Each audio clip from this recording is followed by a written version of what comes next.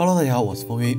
日前，有海外媒体曝光了一组新款大众蔚揽的测试车谍照。从谍照来看，前脸采用了新的家族式设计。从轮廓来看，前保险杠下方的进气口开口将更大，并采用了全新设计的格栅，使得前脸形成了一个咧嘴的造型。头灯的灯组造型同样采用了新的设计，并有可能将采用全 LED 光源。而尾部的整体变化较小，但使用了全新设计的尾灯组造型。动力方面暂时没有明确的消息，但根据外媒的猜测，新款蔚揽或将以大众全新的1.5 TSI 发动机取代现款的1.4 TSI 发动机，并有可能推出诸如 R36 之类的性能版车型。此外，新车还将继续推出插电混动版的蔚揽 GTE 车型，新车或将在续航里程上得到提升。根据此前的消息，大众将在2019年为旗下的中型车进行一次改款，其中包括此前已经曝光过的大众帕萨特以及我们看到的新款大众蔚蓝。感兴趣的可以关注一下。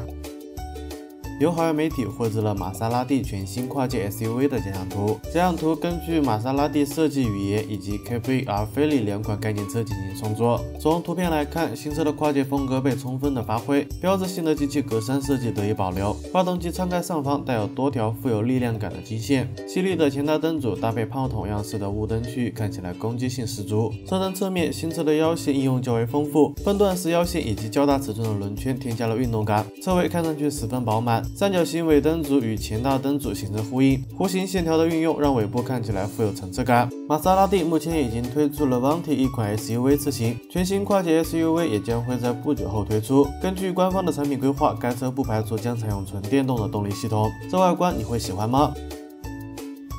日前，蔚来官方发布了旗下五座版纯电动 SUV 蔚来 ES 六的更多预告图。通过本次的细节预告图来看，前脸设计与 ES 八十分相似，采用了同样的家族式设计语言，但针对大灯、前包围、进气口等细节进行了调整修改。两侧尾灯组采用了不规则的设计，配合着梯形的牌照架设计，进一步增强了尾部的层次感。据官方表示，ES 六轴距达到两千九百毫米，并且全系标配全铝车身以及双电机智能电子四驱，百公里加速时间将。低于五秒。根据此前信息来看，新车预售价为三十七万元起，并将于十二月十五日开幕的未来日上正式发布。有想来一辆的不？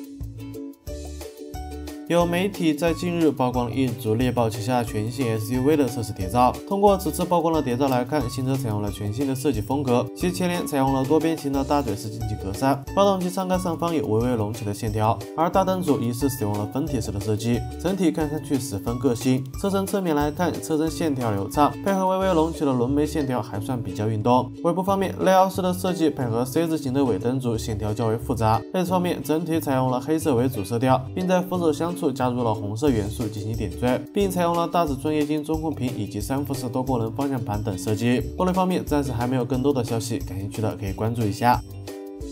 近日，有国内媒体将一组疑似一汽大众首款 SUV T-Roc 探歌新车型的实车谍照曝光了出来。从谍照来看，新车在外观上与现款车型相比并无明显差异，整体基本保留了海外版车型的设计，其采用了 T 字形的家族前脸造型，前大灯上方带有 L 型的镀铬饰条装饰，配合两侧环形的 LED 日行灯转向灯，看上去非常的个性。尾部方面采用了许多凸起的线条进行勾勒，左右则是棱角分明的尾灯组，而尾部最显眼的就是 T5 幺八零。TSI 这样的标识。目前 T-Roc 探歌入门版车型为两百 TSI，该车应该是该车系的全新入门版车型。其或将搭载一台低功率的 1.2T 涡轮增压发动机，传动方面匹配的是五速手动变速箱。内饰方面继续沿用了现款车型的设计风格，可能是入门版车型，所以并没有配备大尺寸的中控液晶屏幕、多功能的方向盘等。整体上以灰色为主色调，并在细节处赋予镀铬元素进行点缀。动力方面，目前官方并未透露更多的消息。作为参考，同样尾标为。幺八零 TSI 的速腾车型，其搭载了一台一点二 T 涡轮增压发动机，最大功率为一百一十马力；而现款 T-Roc 探歌两百 TSI 车型所搭载了一台一点二 T 涡轮增压发动机，最大功率为一百一十六马力，传动方面匹配的是五速手动变速箱。不知道新车什么时候上市呢？好了，以上就是本期视频的全部内容了。扫码关注微记的微信公众号，每天都有新内容。我们下期视频再见喽！